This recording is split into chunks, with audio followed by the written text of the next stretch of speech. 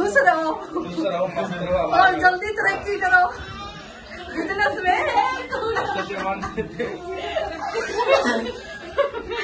Business में ढंग से काट रहे हमने हाँ, तरक्की करना का कर लिया अपने अपने बारे में सोचिए। बोलेंगे। समझदार सारा काफ़ी होता है। बोला मतलब खुशी बर्दाश्त